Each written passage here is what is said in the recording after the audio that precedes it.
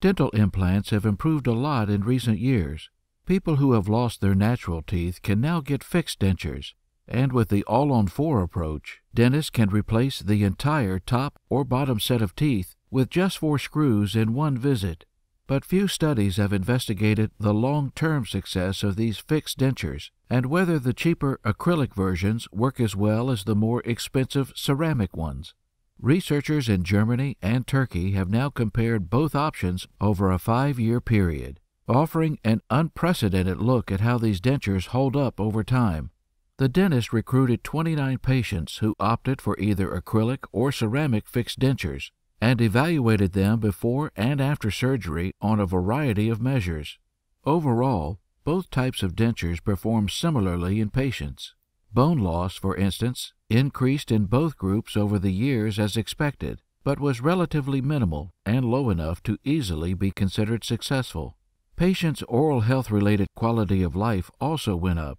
As measured by the Oral Health Impact Profile, in which higher scores indicate problems, both dentures essentially eliminated any impairment as soon as they were installed, and over time relatively few issues developed. Bite force, which was measured for the first time with pressure film, also increased and remained strong over time. Although, by the fifth year, the ceramic dentures had a slight edge. These results are consistent with previous reports suggesting that both fixed dentures are highly effective, and that if costs are a concern, acrylic dentures are a fine choice. But the team also identified a concerning increase in sulcus flow in the acrylic dentures after about three years. Higher rates of flow are linked to more inflammation and eventual bone degradation. The findings suggest that given more time, acrylic dentures may prematurely fail. The acrylic dentures also showed more abrasion, and in a quarter of patients, veneers cracked, while the ceramic ones remained intact. These problems indicate that the lower cost of the acrylic dentures may not be worth it long term.